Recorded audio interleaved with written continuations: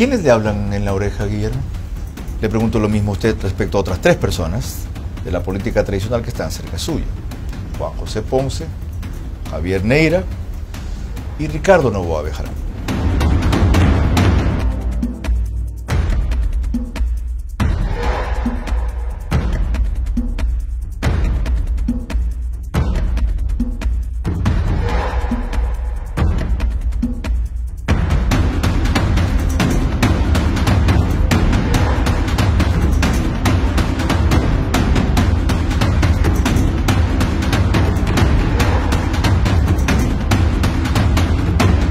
¿Qué vamos a vivir? Somos gente honrada, gente del pueblo. Prefiero morirme yo y no, y no dejar de morir a mis hijos.